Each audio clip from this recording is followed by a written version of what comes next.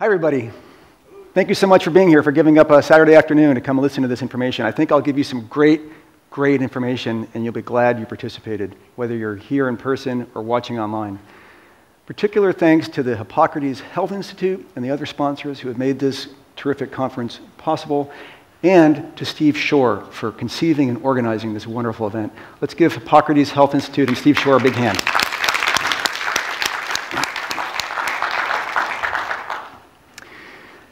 A few years ago, I sent an email to a bunch of friends with a link in it to a factory farming video. And I asked them to watch the video and tell me what they thought of it. And I got a wide range of responses, everything from sort of incredulity to um, uh, denial and everything in between. But the response that really stuck out was from the dean of a law school, who wrote back and said, the behavior in the video that he saw was deplorable and despicable, but in his view, it was illegal. And that meant that it was an exception or an anomaly. It didn't rise to the level of a systemic problem that he or anyone else needed to concern ourselves with. I didn't actually know whether that was true or not several years ago, but I looked into it, and what I found out really shocked me and that is that in the last three to four decades, animal food producers in this country have embarked on an aggressive legislative campaign to emasculate the anti cruelty protections that once protected farm animals from abuse. That is not all. They have also made it difficult or impossible for consumers in many states to investigate criticize, or sue them.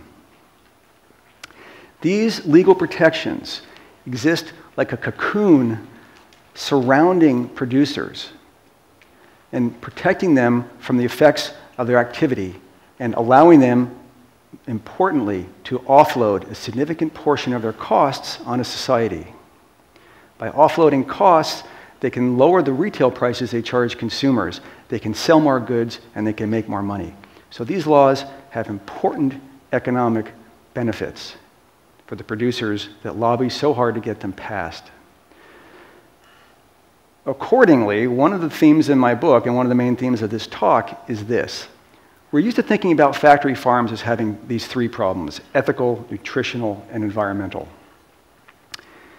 I think we need to start thinking about factory farms as having problems in this fourth category, and that is economic problems. Another theme that I'll discuss uh, in this talk, and that is uh, a, a major theme of the book, stems from this somewhat obscure 80s record album. And I like this image because the title of the album is Freedom of Choice. But as you can see, the band members are not actually, either they think they're exercising freedom of choice and they're not, or they're simply not. In any event, the reason I think this is significant is animal food producers in this country have been very successful in diminishing the ability of consumers to make informed and independent decisions about what to eat. Consumers think we have freedom of choice, and we think that we make our own independent decisions when we go to the grocery store to buy food, but in fact, what is really going on is much more complicated. And we'll look at some of that in this presentation. What I would like to talk about in the next hour, 15 or 20 minutes is four things. First, I'll look at some of the ways that animal food producers are so successful at manipulating and controlling consumer behavior. Second, I'll look at some of the economic consequences that result from that producer behavior. Third, I'll look at the question whether this market and this system is sustainable in the long term. And finally, I'll propose a couple of solutions to the problems that meatonomics presents. So let's start with one of the ways that producers control consumer behavior. In 1932, Aldous Huxley published this book, A Brave New World. And like the Devo album, the title is ironic because the world that Huxley envisioned for our future was not really a brave new one. It was a creepy, dark, and dystopian one. It's a future in which the government exists for only one purpose, and that's to get consumers to buy more goods. In the Huxleyan future, the government accomplishes its purpose through a couple of ways, the most important of which is that it repeatedly bombards consumers with messages to get them to buy things that they don't necessarily want or need. So, for example, because it's better for the economy for you to buy a new shirt rather than sew up an old shirt that has a rip, these messages say things like ending is better than mending, or the more stitches, the less riches. I suggest that we are living in a version of this Huxleyan future today. Here's why.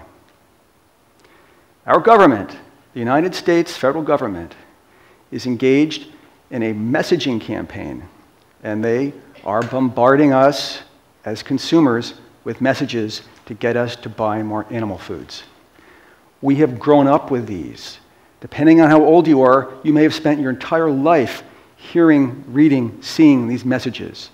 There are things like beef, it's what's for dinner. Milk, it does a body good. Pork, the other white meat. Milk life, pork be inspired. The incredible edible egg. These messages emanate from what are called check-off programs, just like check a box. The name of the program stems from a time past when they were voluntary. They're no longer voluntary, they're mandatory. And because most people never even heard of these programs, and yet they are incredibly important, I'm going to spend just a couple of minutes telling you how they work and why they're so shocking. Checkoff programs exist to promote a number of animal foods beef, pork, dairy, eggs, and both fluid and non fluid milk and lamb. The only thing they don't really cover is chicken. They're created by Congress, and they exist as a statute. And what they say is that the first wholesale buyer of a good must collect and remit a small assessment. They use the word assessment, but it's actually a tax. Any mandatory payment you're required to make that's imposed by government is a tax. So, for example, when a slaughterhouse buys cattle from a rancher, it collects $1 per head and it sends the money to a central organization that collects the funds.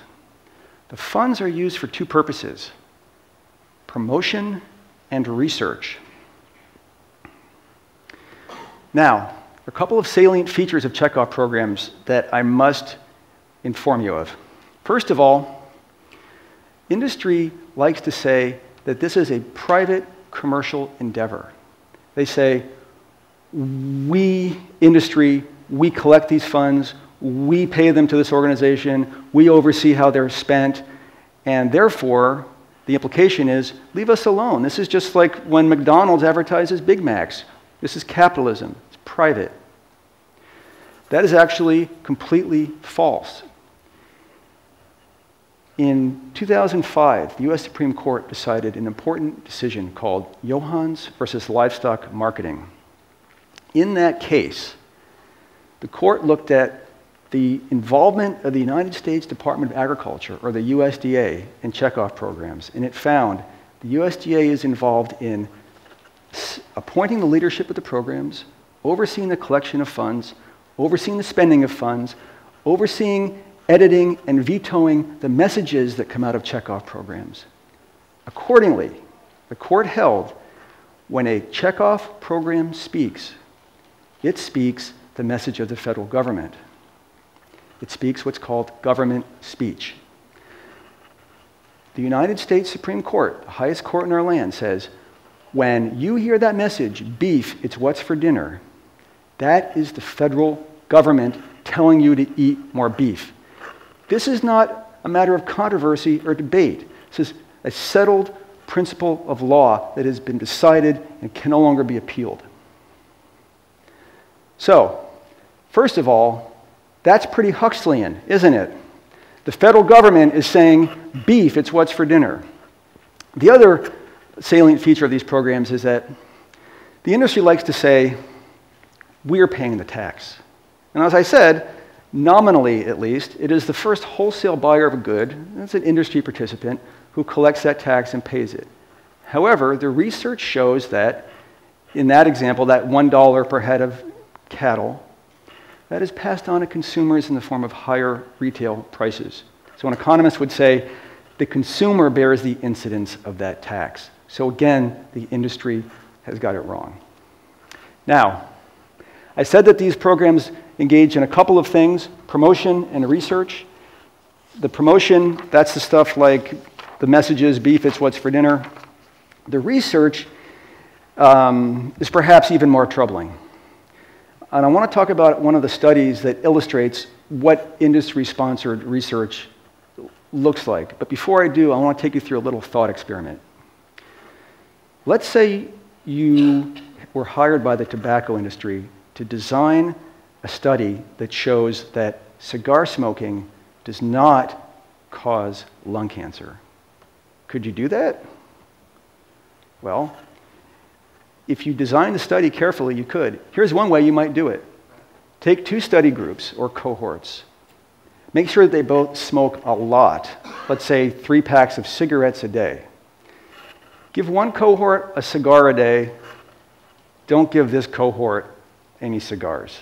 Now, first of all, these two cohorts, because they smoke three packs of cigarettes a day, their risk of developing lung cancer is significantly higher than that of the general population, right? Let's say it's two or three times higher. We don't know. This is just a thought experiment. But when this other group gets a cigar a day, it might not materially increase their risk for lung cancer. Why? Because it was already huge, right? And you could conclude that a cigar a day does not increase your risk of lung cancer. And if a tobacco industry ever wants, me to hire, ever wants to hire me, I'll design the study for them. Now, let's look at an example of how this is done in, in animal foods. This is something called the Qureshi Egg Study, Q U R E S H I. In this study, they took two cohorts or study groups for comparison the characteristics of these study groups are relevant.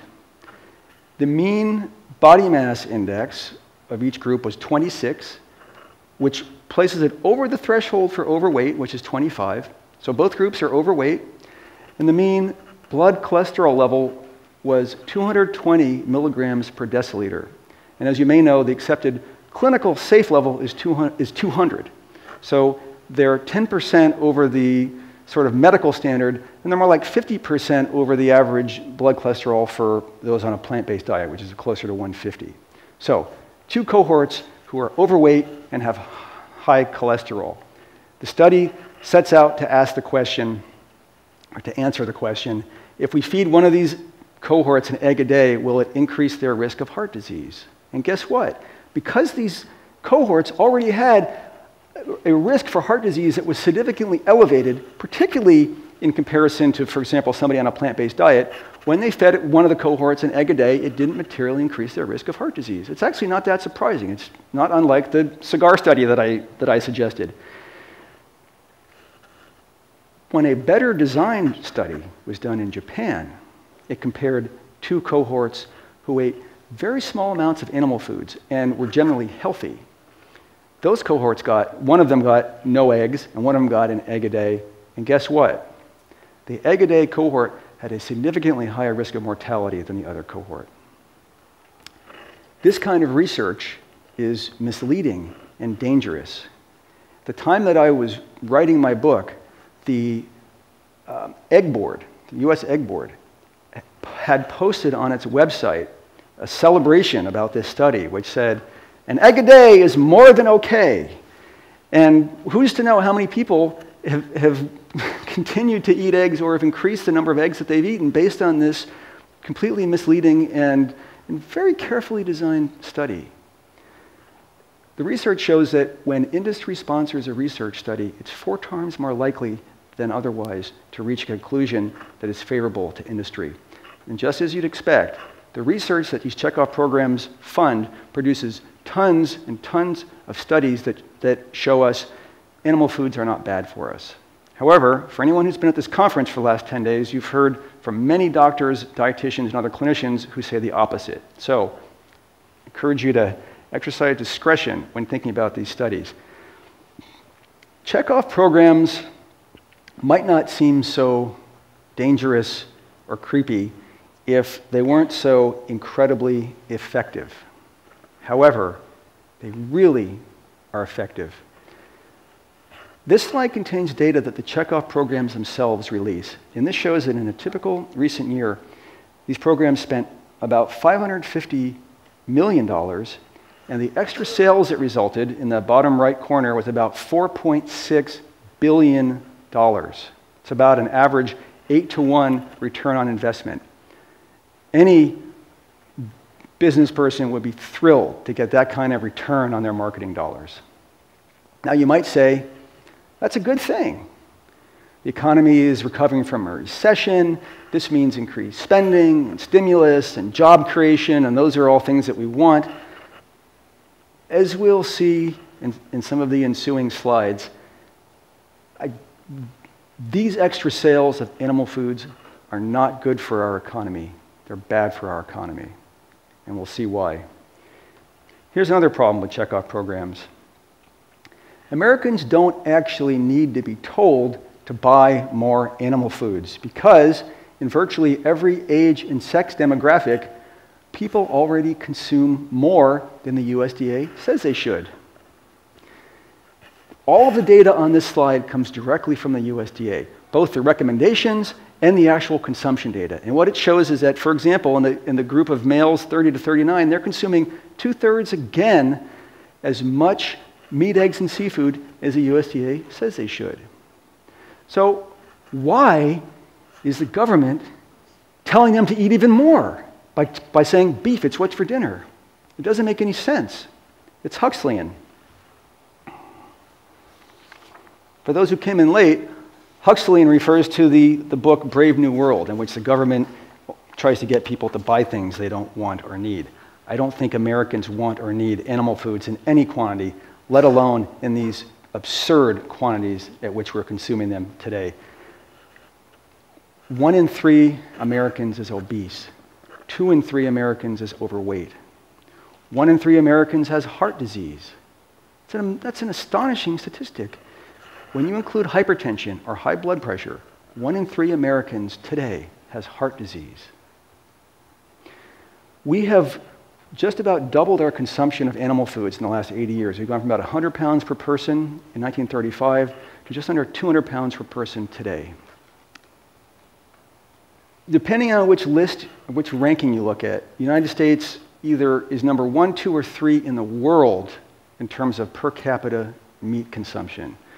We eat, on average, three times as much per capita as the rest of the world. We also have, on average, three times the rate of cancer as the rest of the world. We're a nation of sick and overweight people, and it's largely the result of what we eat. Not just animal foods, we also eat a lot of processed foods and sugary foods, but the clinical literature establishes beyond doubt animal foods are contributing to these problems. Our government should not be behind efforts to get us to eat more of them. It just doesn't make any sense. Let's talk about another way that producers influence behavior. And that's through this legislative agenda that I spoke about at the beginning. In the mid 1970s, this organization, the American Legislative Exchange Council, was formed, ALEC.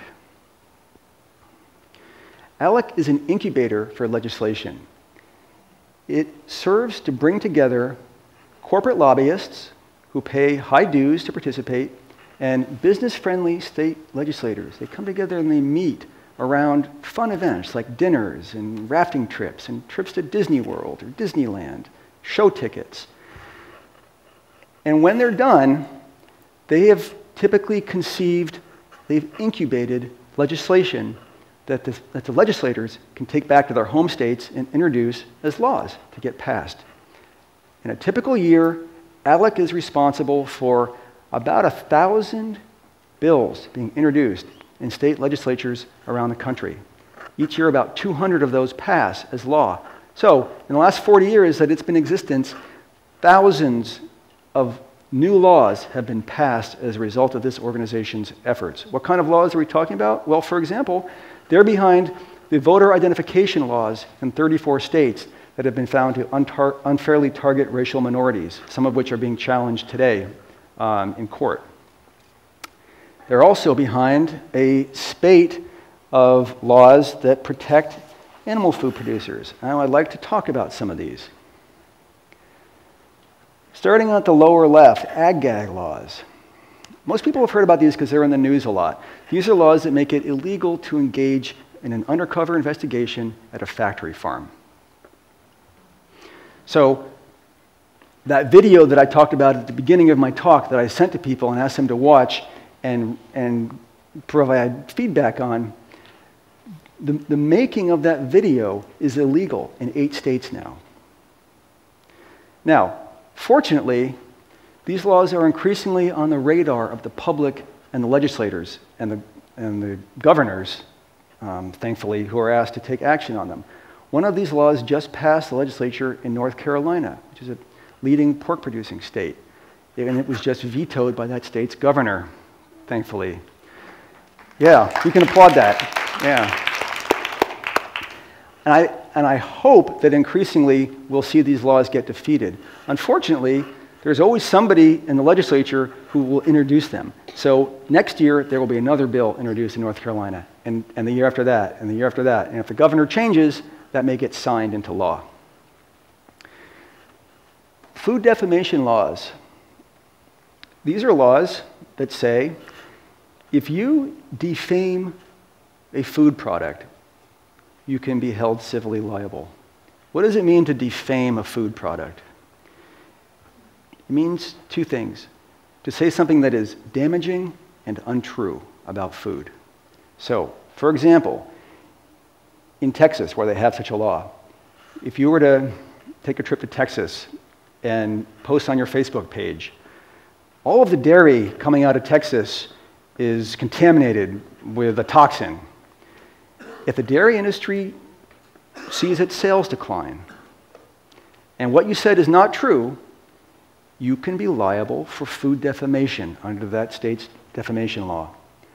Oprah Winfrey learned about this law the hard way a few years back. She had as a guest on her show Howard Lyman, who is a retired uh, former cattle rancher who is now vegan and advocates for veganism uh, and plant based diets and, and animals. They were talking about the Texas beef industry. And at one point, Oprah threw up her hands and said, You stopped me cold. I'll never eat another burger. Because of some of the facts that we're talking about, that they were talking about, and her statement, the Texas Cattlemen's Beef Association brought a lawsuit under the Texas Food Defamation Law against uh, Oprah and Howard. Now, what they were saying was completely true. So they had a legitimate defense to that lawsuit, and ultimately, they prevailed by showing that what they were saying was true. But it's expensive to litigate a case like that, especially where, where facts are at issue and you're trying to establish the truth of facts. They spent an estimated $1 million defending themselves in that lawsuit. So you can see that these laws have the potential to chill free speech. If, if Oprah had her show today, I doubt she would want to entangle with the Texas Beef Cattlemen's Association again. I wouldn't. Who wants to get sued and spend a million dollars? Even if what you know you say is true, anybody can sue anybody in this country, and you've got to extricate yourself. So these laws, I, I think, have the, have the potential to chill free speech in this country. Cheeseburger laws that we now have in half of the states in this country, these are based on a model ALEC statute called the Common Sense Consumption Act. These laws say that a plaintiff cannot recover from a manufacturer, distributor, or retailer of food based on the theory that food caused the plaintiff to become obese or develop an obesity related disease. The proponents of these laws have been very straightforward in saying that these laws are designed to prevent the kinds of large damages awards and settlements that the tobacco industry has been subjected to in the last several decades. As you may know, the tobacco industry in this country has paid over $400 billion to settle lawsuits brought by state Medicaid programs. Now, those lawsuits generally arose because the, the, tobacco industry concealed information that showed that cigarettes smoking uh, and, and the use of other tobacco products was bad for our health. Unfortunately, if and when the information begins to emerge in the next decade or two, as I expect that it will, to show that animal foods, uh, not only are animal foods bad for our health, but that the industry has been misleading us about their effect on our health. In half of the states in this country, we will not be able to bring lawsuits based on um, these cheeseburger laws that will block, block that litigation. I'm going to skip over customary farming exemptions and come back to it and talk about animal and ecological terrorism laws. We have these in four out of five states in this country. These laws provide that what would otherwise be a relatively innocuous crime, like trespass, theft, malicious mischief, vandalism, if the crime is directed at an animal enterprise, which includes anything involving animals, a factory farm, a restaurant, a grocery store, a zoo, an aquarium, a testing facility. If that innocuous crime is directed at an animal enterprise, the penalties are significantly higher than otherwise.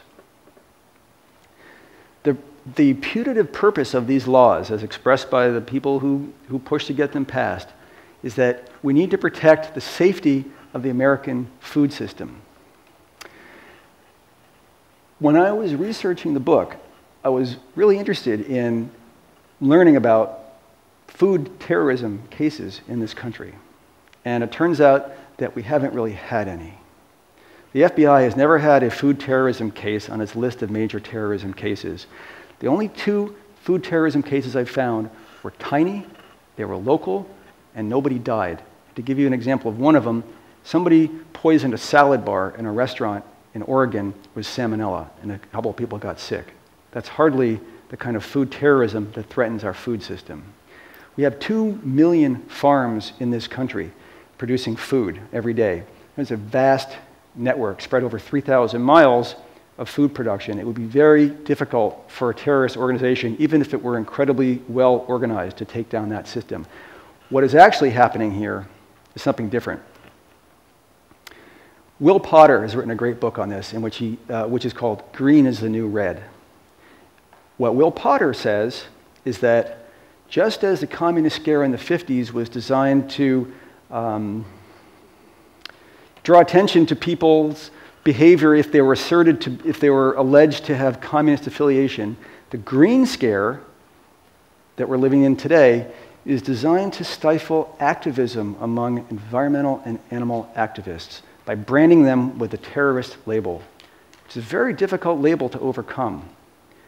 This, these laws, which are also based on a model ALEC statute called the Animal and Ecological Terrorism Act, mean that if you're engaged in relatively innocuous civil disobedience or uh, exercising free speech rights, you can be charged as a terrorist in this country. It's unbelievable. It's a very powerful weapon that animal food producers have in their arsenal to use to protect their their sales and their profits. Let's talk about customary farming exemptions. For me, this is really the most important issue. It's really why I wrote the book. And I think for many people who have turned to a plant based diet, this is one of the main reasons behind their decision to do that. What are customary farming exemptions? These are exemptions that take a state's broad cruelty statute that prohibits cruelty to animals, and they carve out a small exemption for farm animals. And they say that the statute doesn't apply to farm animals. I want to give you an example of how this works. In Connecticut, in 1854, the legislature passed a very broad cruelty statute. It prohibited cruelty to any animal. You can't get any broader than that. And that's great. That statute was on the books for almost 150 years. In 1996, the Connecticut legislature adopted a customary farming exemption. I have this text memorized, but if I don't read it, you won't believe me. So I'm going to have to read it to you, okay? This is what the Connecticut legislature, this is what the Connecticut anti cruelty statute says today. In Connecticut, it is legal to, quote, maliciously and intentionally maim, mutilate, torture, wound, or kill an animal, provided the act is done while following generally accepted agricultural practices, unquote. To paraphrase, it is legal to intentionally torture a farm animal. The, the, the, second part of that statutory language, if it's done in accordance with generally accepted agricultural practices, here's what that means. If a group of farmers suddenly decides that they want to start cutting off a new part of an animal's body, with or without anesthetic, although invariably without, and there's an expedient or economic reason to do it, and enough of them start doing it ear, legs, beak, tail, genitals, whatever by definition, because a number of them are doing it, it becomes legal. It used to be illegal, and then a bunch of them started doing it, and they made it legal. That is how these statutes work. We have these statutes in 37 states. In the 13 states that don't have them, the same principle of law applies by virtue of judicial decision making or the common law.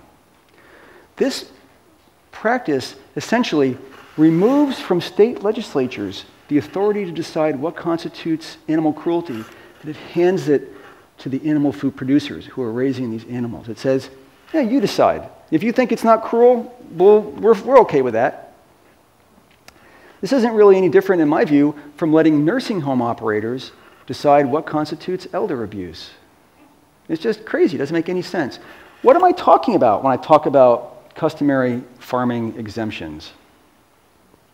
The Picture tells a thousand words. Starting at the top left, it's legal in every state in this country to chop off virtually any part of an animal's body without anesthetic. Tail, ears, beak, genitals. Genitals can be either chopped off or crushed without anesthetic. Now, incidentally, it would cost about 25 cents to anesthetize an animal before castrating him. It doesn't seem like much money. I mean, you just pull out a quarter and pay it. But if you have 100,000 animals, that's $25,000. That's a lot of money. If you have a million animals, that's $250,000. So you can see that it adds up. Nobody's going to do something that the rest of the industry isn't required to do because that's going to make them uncompetitive. Then they can't compete. They have to sell their products for more, and they're going to, they're going to be outcompeted by the people who didn't spend the money on the anesthetic. So you can understand why nobody will voluntarily do something that they're not required to do in this industry. Top middle, in virtually every, in almost every state in the country, it's legal to confine sows in gestation crates. These are pregnant pigs who will spend the majority of their lives um, in, in a state of confinement where they can um, basically can't move. A few states have actually outlawed this practice. Florida is one. California, where I'm from, is another one um, Florida and California are not leading pork producing states. So while it's nice, it doesn't really affect the fact that 95, more than 95% of the pork raised in this country continues to come from animals raised like this. In almost every state in the country, it's legal to raise hens in battery cages. This means that the typical hen will spend her life in an area about two thirds the size of a piece of paper, about like that. Um, this practice has also been outlawed in a few states, including California. Again, California, not a major egg producing state. So more than 95% of the eggs raised uh, in this country continue to come from battery hens. Now, when I talk about customary farming exemptions, people often respond by saying, that sounds terrible, but in my case, I get all of my fill in the blank from fill in the blank. So this, this isn't going on with my food fill in the blank. I get all of my, um, all of my pork is organic. All of my eggs are cage free. All of my beef, beef is grass fed. It doesn't matter. 98 to 99% of all of the animal foods consumed in this country come from factory farms. We know this statistically. These bottom three slides are images of cage free hen production. Bottom left, it's about 100,000 hens in a dark, windowless shed where they'll spend their entire lives. They'll be debeaked, as you see in the bottom right, which means They'll have a third to half of their beak removed. It's a painful procedure. It leaves them in chronic pain with a, with a stump neuroma or a fibrotic nerve ending because they use their beak to eat. Every time they eat for the rest of their life, it will hurt.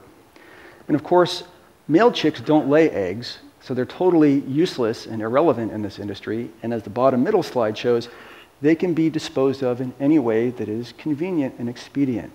They could be dumped into garbage cans and left to starve or freeze to death. They could be thrown in wood chippers or meat grinders. Farmers don't engage in these behaviors because they want to be cruel. Nobody really sets out and says, I'm going to see how cruel I can be. What is going on is economic pressures force people to do this stuff. A, a chicken is only worth about $3. That's the replacement value of a chicken. If you're a farmer and your chicken has a prolapsed uterus, you're not going to call a vet and spend 30, 40, 50 dollars to treat that condition. You're going to pick that chicken up and throw her in the garbage. It's not cruel. It sounds cruel to us, but it's not intentionally cruel. That is economic reality. The only way to change producer behavior is to change the way the law applies to them. Now, when states fail to act to protect the disadvantaged, the disenfranchised, the challenged, often the federal government steps in. Because here we're talking about state laws, you might think, well, maybe the federal government has nobly come to the rescue of farm animals federal government has introduced a lot of, uh, is responsible for a lot of great laws over the years the Voting Rights Act, the Civil Rights Act, the Americans with Disabilities Act, the Age Discrimination and Employment Act, etc. Unfortunately, the federal government has not done much in this area.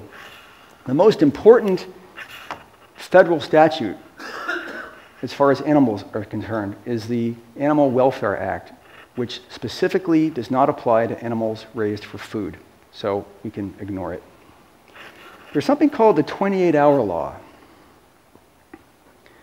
This law says that when animals are being transported across state lines, if the trip takes more than 28 hours, the driver has to stop, offload the animals, and give them a chance to rest and to have food and water.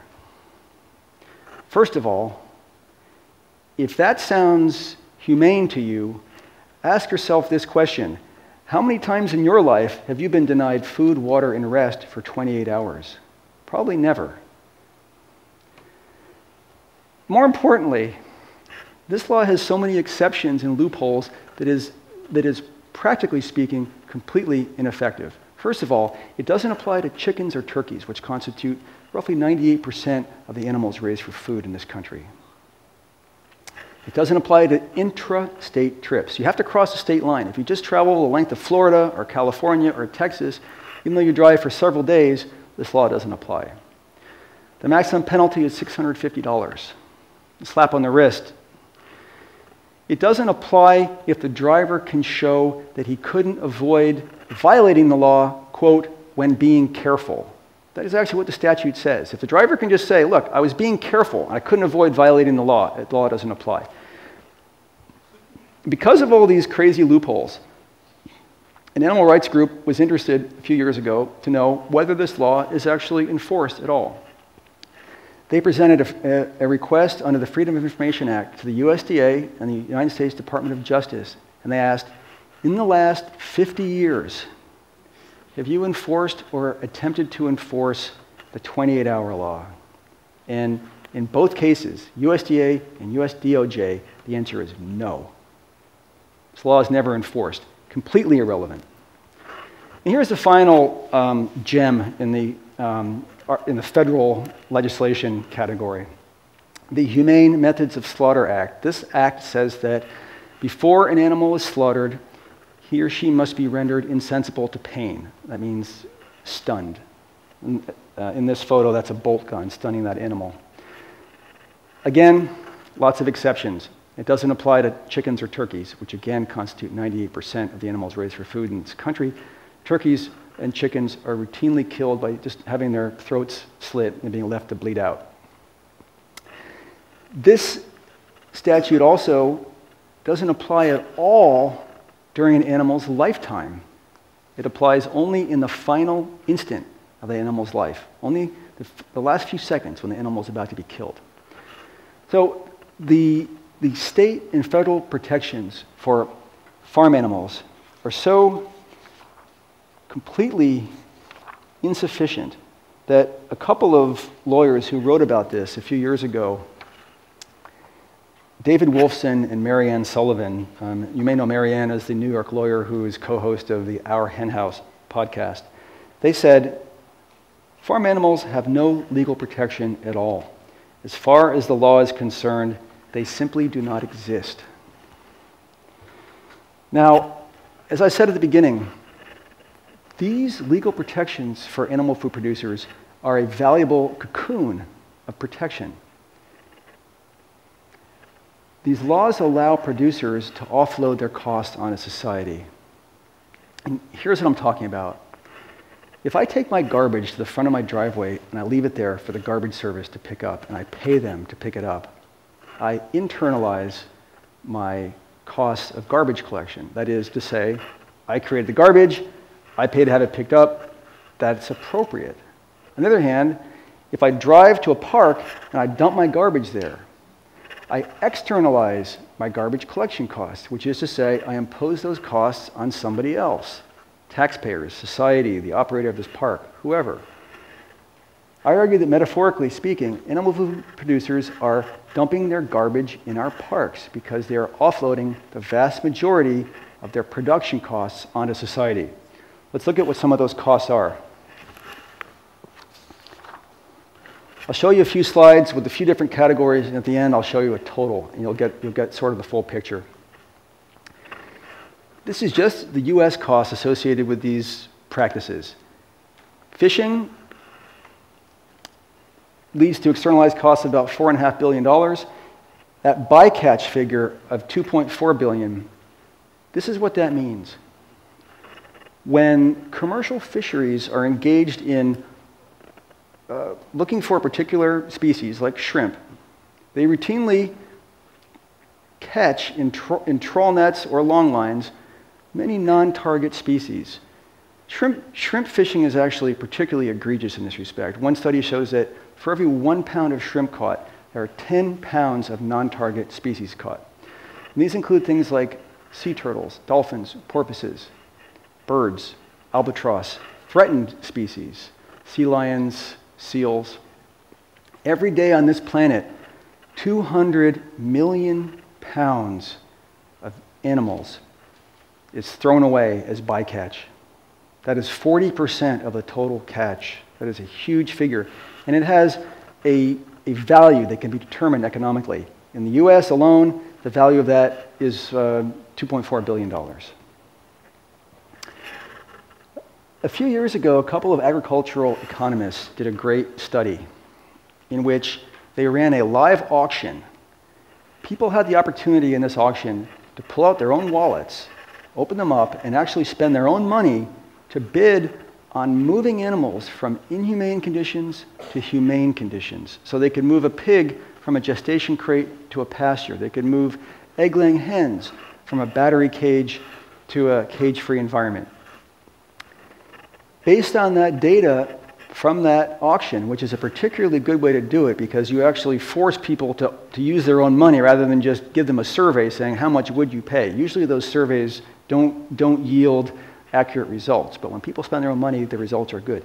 Based on that data, Americans are likely to be willing to pay over $20 billion per year to end the cruelest practices in factory farming. This slide shows dairy cows in what's called a zero grazing environment. Today, a majority of dairy cows are raised in zero grazing environments. These are environments where, just as it sounds, the animals never go outside. They never graze. They live in a concrete and steel enclosure. Because they get no exercise and because they spend a lot of time standing in their own waste, 100% of dairy cows will, are expected to develop lameness during their life. That is, they can't walk it's painful. Many will develop other conditions like mastitis, which is an inflamed udder. Environmental costs associated with animal food production, total about $37 billion. And uh, as you can see from the slices of pie, these are things like costs associated with manure remediation. Um, that soil erosion figure, $15 billion. If anybody saw David Montgomery's talk yesterday about the importance of soil in this country, you know that we are damaging our soil. The United Nations says 55% of soil erosion in the United States is directly attributable to animal agriculture.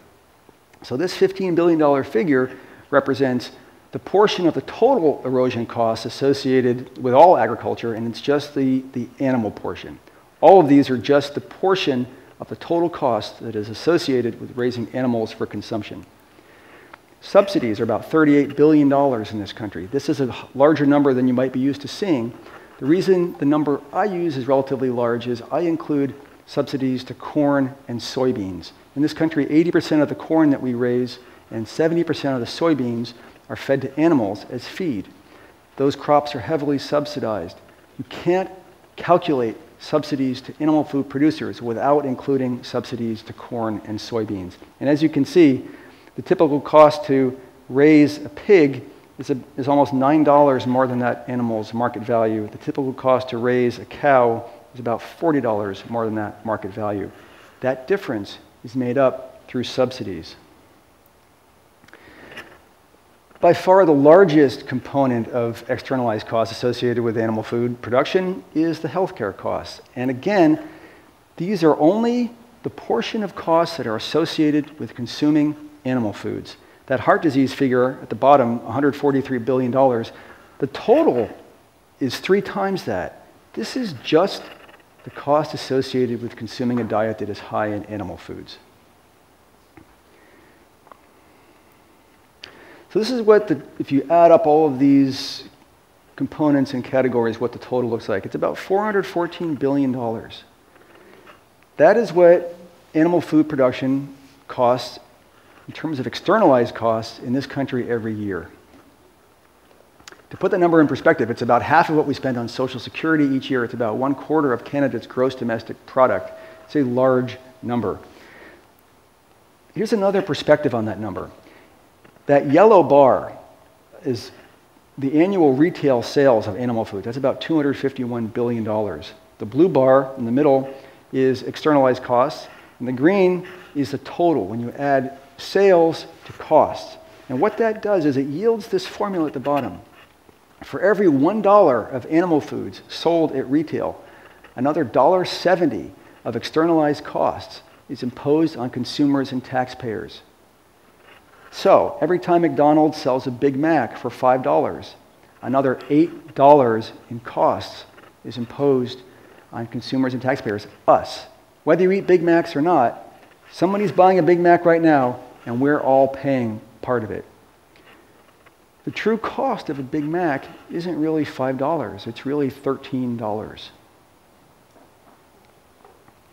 However, because McDonald's doesn't charge $13 for their products and none of the other retailers selling animal foods charge the full cost of their products, those products have artificially low prices. Over the last 80 years in this country, as a result of widespread externalization of costs, the prices of animal foods have fallen across the board on an inflation adjusted basis. Butter is down 44%, ham is down 48%. Chicken is down 70%. The law of demand is a really simple economic principle, and it says when prices come down, demand goes up. When prices go up, demand comes down. And we've all seen this happen in our day to day lives. When something's cheap, you buy more. When something's expensive, you buy less. Um, this slide shows an example of this in practice with respect to chicken consumption. And as you can see, in 1935, Americans consumed about nine pounds per person of chicken, and today we consume about 57 pounds of chicken per person. This graph is completely unrelated to population growth. This is just per capita consumption. It's nothing to do with the fact that our population has increased. At the same time, in 1935, top left, the price of chicken was $5 a pound and is now about $1.54 a pound. In other words, the price of chicken has fallen dramatically in 80 years, consumption of chicken has risen dramatically in 80 years, just as the law of demand predicts. It's not, not rocket science. Recently, in the last couple of years, if you could expand the, the right edges of this and blow it up a little bit, you'd actually see prices have ticked up a little bit. There's been a drought in the West and Midwest that has caused feed crop prices to go up a little, and as a result, chicken prices have gone up a little. At the same time, consumption has come down a little bit, just as the law of demand predicts. I think that when prices stabilize, consumption will continue to, prices will go down further, consumption will continue to go up. Now, let me summarize to this point. Animal food producers externalize the vast majority of their costs and impose those costs onto society. As a result of that heavy externalization of costs, they're able to lower the retail prices that they charge for their goods. Those low retail prices that are artificially low mean that consumers buy much, much more of those goods than they would otherwise. As I said earlier, Americans have roughly doubled our meat consumption in the last 80 years. During this same period, we've gone from 100 pounds per person to just under 200 pounds per person. One in three is obese, two in three is overweight. We have problems that are associated with these very high levels of consumption. It's not just health, there are environmental issues as well. I'll just give you a few data points. One in three groundwater sources in US states in this country is contaminated with animal waste. More than 30,000 miles of rivers, lakes, and, uh, and other, uh, I'm sorry, of rivers and streams is contaminated with animal waste. One third of the world's fisheries, commercial fisheries, have collapsed. That is, they no longer produce fish. Scientists think that by, two, by 2050, the middle of the century, all of the commercial fisheries will have collapsed by virtue of over, because of overfishing. Two acres of rainforest is destroyed every minute to provide land to grow crops, to feed beef cattle, or to provide land to graze beef cattle. Americans are near the top of the planet in terms of per capita meat consumption, but the rest of the planet is catching up. And when they do, the planet will be short about two thirds as much, again, as much land as we need to, to grow the crops to feed those animals. The land doesn't exist, it's just not there, period. So let me look at some of the sustainability issues that meat and dairy present. Compared to plant based protein, as you can see from these bar charts, animal, um, producing animal protein takes about five times the land, 11 times the fossil fuels, and um, 40 times the water. Just looking at water, I live in California. As you may know, we've been in the middle of a multi year drought. I just downloaded this um, image a couple days ago. I don't know if you can read the fine print, but in the very bottom right, there's a little yellow area. That is the only area in California that is not in the middle of a drought right now. That area is abnormally dry. All the other colors, from beige to dark red, represent moderate drought, severe drought, extreme drought, or exceptional drought. California is short something like 40 trillion gallons of water every year, which is a lot of water. One way to think about California's situation is to compare it to, to something. So let me just give you a little comparison here. Lake Powell is the largest reservoir in the country, measured in terms of capacity. Lake Powell is only at about 40% of its capacity because of multi year drought in California and other western states. Lake Powell is, is a lake formed by a dam in the Colorado River. It's on the Utah and Arizona border. So it's at 40% of its capacity. It's down about 5 trillion gallons of water, which is a lot of water.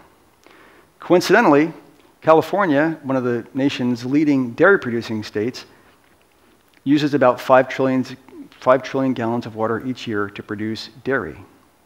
Now, I'm not saying that if California stopped producing dairy, Lake Powell's level would rise. I'm just saying it's interesting to conceptualize this huge block of missing water with the water that is used over here to produce dairy.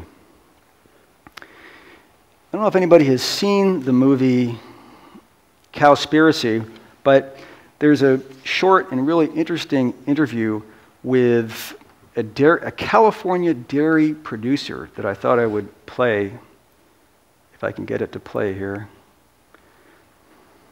It requires a, lot of inputs to produce milk the feed, the water, the land. Um, it does. And it, it may not be practical to expect that there can be enough dairy production produced in a sustainable way to, to feed the entire world.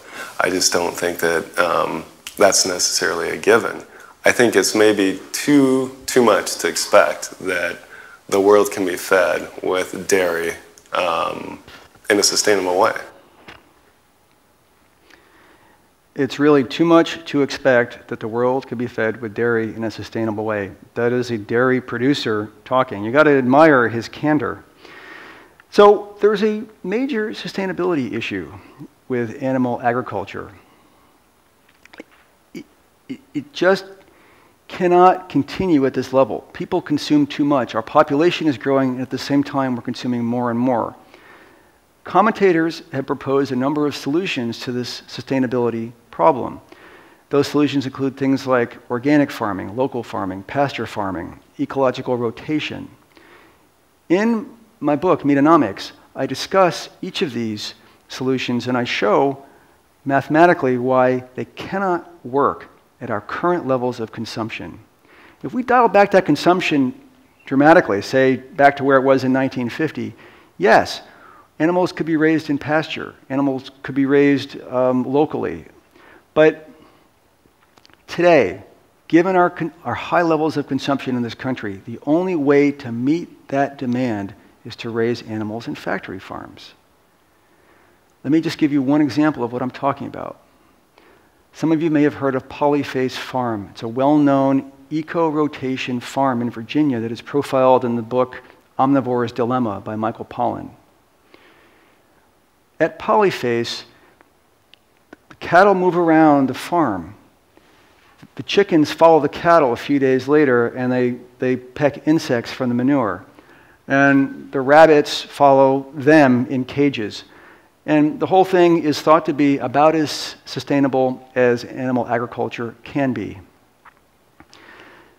Here's the thing there are something like 313 million Americans, and we consume something like just under 200 pounds of meat per person per year. So the question is, how much of that meat is Polyface, for example, producing?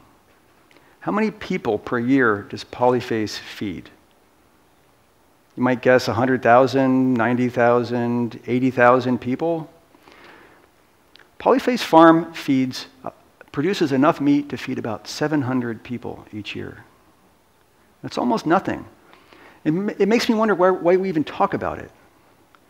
In some fantasy land or on some other planet where there's unlimited amounts of land, operations like Polyface might work. But on this planet and in this country where all the land is being used for something today, Polyface doesn't work as a model. To give you an example, in Southern California where I live, if we wanted to produce all of our meat using the Polyface model, we would need 33,000 more farms. They would, that land would take up seven of the eight counties in Southern California. No room for houses, no room for buildings, freeways, nothing, just farming.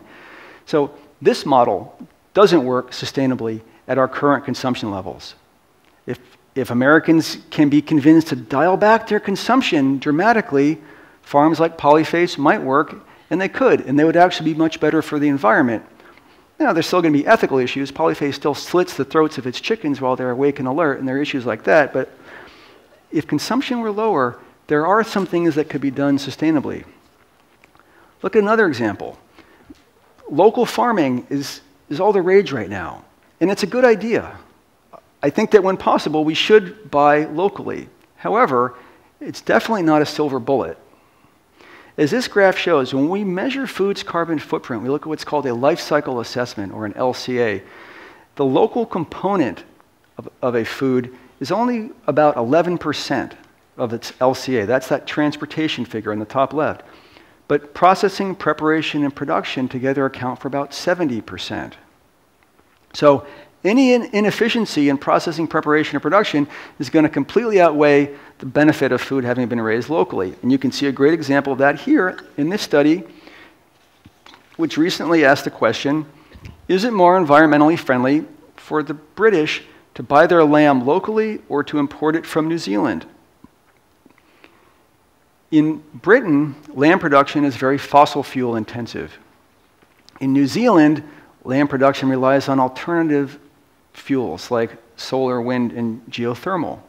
As a result, it is much more environmentally friendly for Brits to import their lamb from New Zealand. It's counterintuitive, but it's four times more environmentally friendly, both in terms of energy consumed, even after you account for the, the, the, energy costs associated with transportation, and in carbon output. The point is not that local farming isn't a good idea. I think it is. The point is that in each instance, the math can be complicated. And local farming is not going to be a silver bullet for animal agriculture any more than eco rotation operations like Polyface are. So I said I was going to talk about how producers influence us, and I did. I said I was going to talk about some of the economic consequences, and I did. I said I would talk about the sustainability issues, and I did. I said I would talk about some solutions. So now let me talk about the solutions. In this country, we tax tobacco products an average of about 70%. So the typical $5 pack of cigarettes has about a 350 tax tacked onto it, so it ends up costing 850. Just as the law of demand predicts, as you raise the price of cigarettes by taxing cigarettes, you lower consumption.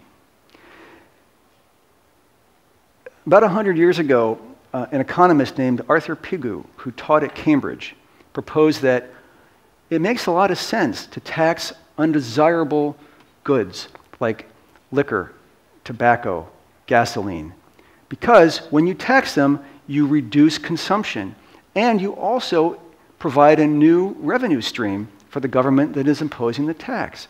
There's a so called uh, double dividend from these taxes. They're called Pigovian taxes, named after Pigou, who, who proposed that they would work. And they work really well.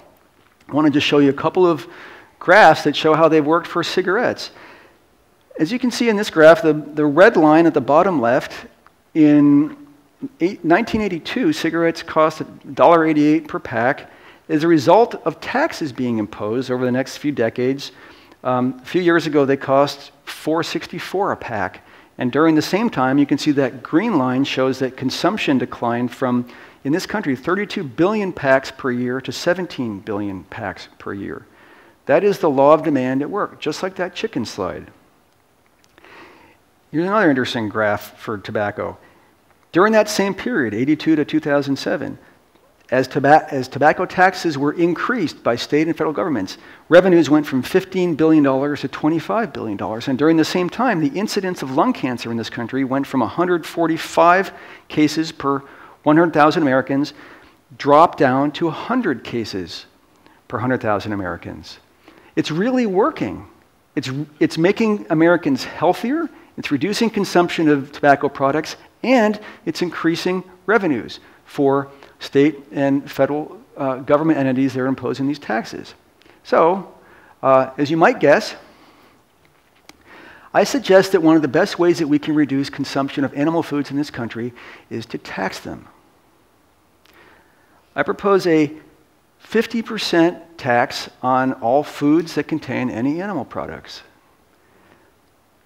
So a $5 Big Mac would have a 250 tax on it, it would cost 750. And as predicted, the law of demand says people will buy fewer Big Macs. Now, the idea is not to make people struggle to meet their food budget. So at the same time, I also propose providing a $500 tax credit annually, which would offset the extra costs associated with the tax. So what would happen is, in a typical year, people would spend a little more on meat, but they would also shift some of their buying to plant based foods And at the end of the year, the extra that they've spent would be reimbursed through this tax credit. If, if and when a 50% tax is imposed in this country, and I do think we will tax meat at some point. 50% is kind of high, but I think, I think we'll start taxing meat at some point in my lifetime. That tax, plus some other institutional changes that I recommend, like eliminating checkoff programs, eliminating subsidies, would have the effect of reducing consumption of animal foods by about 44% in this country.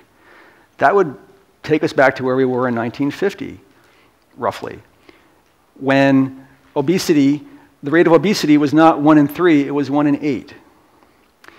There would be a lot of benefits from reducing consumption that dramatically. For example, we could save 170,000 human lives every year. We could save 26 billion land and marine animals' lives every year. We could return to its native habitat, something like 600,000 square miles of land that would no longer be needed to raise animals or the feed crops necessary to feed them. That's like twice the size of Texas. Perhaps most importantly, we would avoid emitting about 3 trillion pounds of carbon equivalent emissions every year that this tax is in effect. That would have roughly the same effect as garaging all motor vehicles and motor vessels in this country. So that's one thing we can do. That's the, that's the institutional change that would make sense. But there's also the possibility of change on an individual level. And that is to say that you can make a decision to eat less animal products or to give them up completely. And as the speakers this, this week have been saying repeatedly, our bodies don't need animal products, and they're generally much better off without them.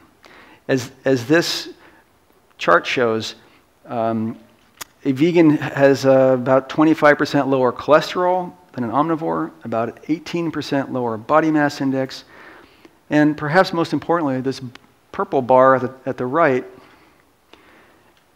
suggests that there is a choice. You can, you can eat meat and live to be 87, or you can go vegan and live to 100. That's more or less what this, what this uh, longevity figure suggests. Possibly adjusted based on your own personal um, life expectancy, but that is a major difference. But it doesn't stop there. Because the other question is how do you want to live the last few years of your life? I, I'm general counsel at a healthcare company, and we supply products to patients who are in long term care facilities or nursing homes. These are mostly elderly patients in their 70s, 80s, 90s, sometimes 100 or more. Um, these are mostly patients who have a lot of things wrong with them, clinically referred to as comorbidities. Now, just before I got on my plane, I printed a bunch of papers related to these patients. Now, when somebody checks into a nursing home, the administrator fills out what's called a face sheet or cover sheet. It's just a single page with all the data about the person their name and address, their contact, their next of kin. And, and importantly, for legal purposes, it lists all of their comorbidities. Why do the nursing homes do that?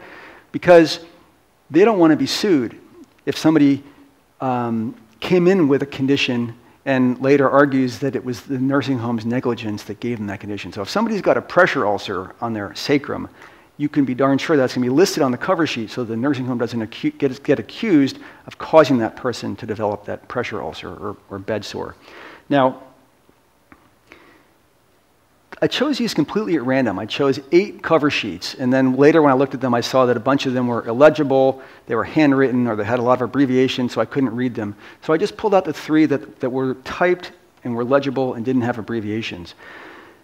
And I, I just want to read you a couple of these because when you hear all of the comorbidities that these people have, and these are not 100 year old people, these are like 70, early 80 year old people, you will be astonished. Many of these diseases are directly or indirectly related to consuming animal foods. And you've heard them mentioned over the last eight, nine days at this conference. So here's one typical patient in a nursing home. This is a nursing home in New York. This person has gastrointestinal hemorrhage, anemia, urinary tract infection, E. coli septicemia, diabetes, that's half, hypertension, senile dementia, congestive heart failure, esophageal reflux disease. That's, none of these is really a contagious disease. These are, these are diseases of indulgence. These relate to, to diet, possibly lack of exercise, and other things. Here's another example. This is from a nursing home in New Hampshire.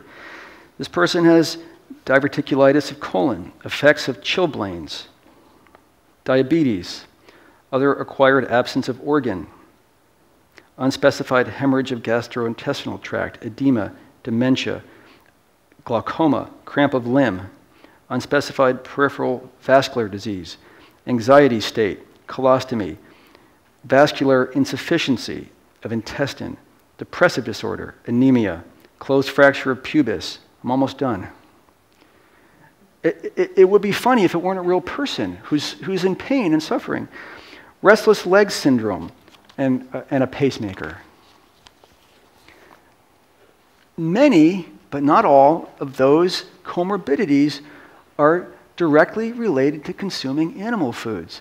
So the question is not just do you care about the environment, do you care about animals, and hopefully the answer is yes, but the question is how do you want to live your life and how do you want to spend the last two, three, four, five years of your life? Do you want to be sitting in a nursing home with somebody changing your diaper and turning you and putting bandages on your bed sores? Or do you want to be, you know, hiking, playing golf, and doing the things that, that people are supposed to be doing when they're retired and supposedly enjoying their lives? So we've um, come back full circle to Aldous Huxley. He's the guy who wrote Brave New World, the book I talked about early on. Huxley died in 1963, coincidentally, the same year I was born. Now, I know what you're thinking. I don't look that old. Thank you. Some people have suggested that I might be Huxley's reincarnation. I, I don't know that. I cannot confirm or deny. But I want to leave you with a quote from Huxley.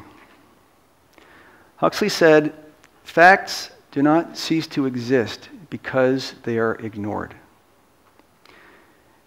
During the slightly more than one hour that I've been talking, more than a million land animals have been killed for food in this country.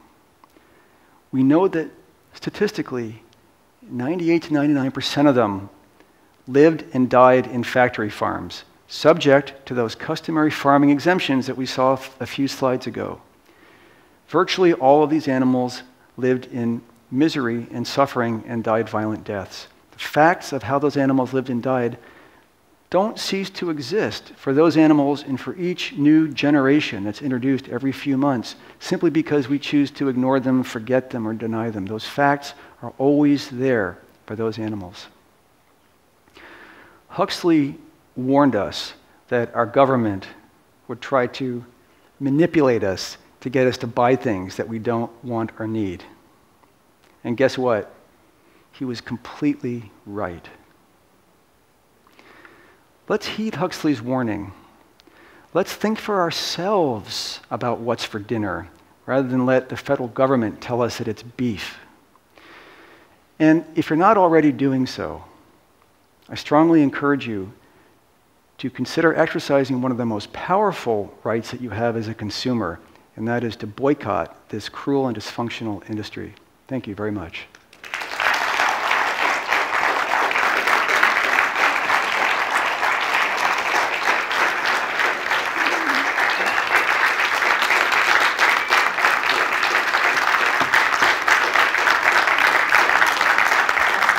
Thank you. Thank you very much. Uh, I will mention that there are just a few books uh, available if anybody's interested. I think, I think you will find this stuff really, really interesting. And I go into much more detail, obviously, in the book. I explore each of the categories and all the costs and 700 endnotes. I spent three years researching this book, and it can be yours for one low payment. Yes, questions? Hi, great, great talk. Thank you so much. Uh, regarding the nursing home, it got me thinking is there or could there be a nursing home that checks you in and says, Welcome to our vegan nursing home? where you will eat a plants only living food diet. And not only that, you're going to have to move your body around to the best of your ability. And it seems to me that, that, that dead people don't buy things or don't buy services. So this would seem to me would be good for business. Yeah, I think it's a great idea. In fact, I'm, I'm sure that if, if such a thing doesn't exist, that it will soon. In fact, I've heard of retirement communities that have been formed. Uh, Essentially, it's an intentional community formed around a principle. In some cases, um, it's people of a particular religion. In some cases, it's people with particular dietary beliefs. Um, I hope there's a good vegan retirement community I can check myself into when I'm ready. Okay, well, thank you very much for being here. I very much appreciate it. Thanks.